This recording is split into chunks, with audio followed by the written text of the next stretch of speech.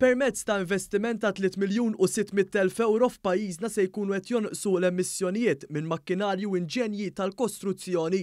Dan hekk kif 69 persuna jew kumpanija se jgawdu mill-iskema tal-Malta Enterprise sabiex dawn jaqilbu l-makkinarji tagħhom Għal dawk li jnixxsu anqas jew li jaħdmu permezz ta' hybrid jew totalment bl-elettriku, il-Ministru għall-Intrapriża u l-Iżvilupp Sostenibbli qalet kif din l-iskema se twassal għal tnaqqis sostanzjali ta' tunnellati ta' dijossidju tal-karbonju.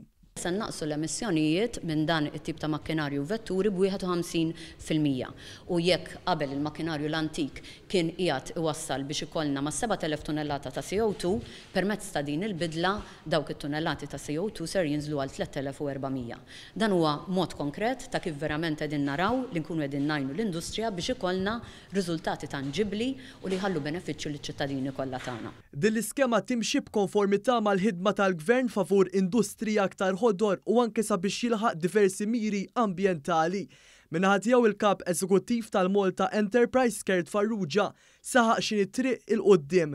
Dan juri li t-triq 'il quddiem hija li l-investiment li jsir irid isir lejn makkinarju u lejn attività li tkun iktar sostenibbli.